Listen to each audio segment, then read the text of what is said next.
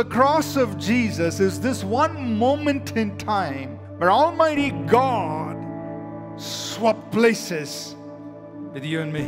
So I'll take your place. I'll become what you are because I want to give you what I have.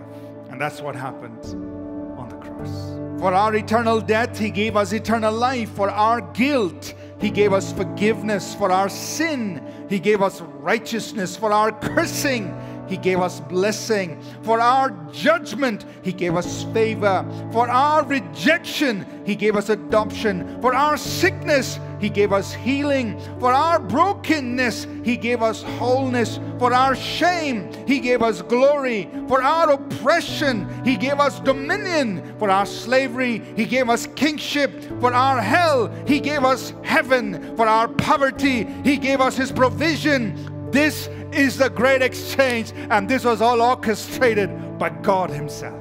Amen.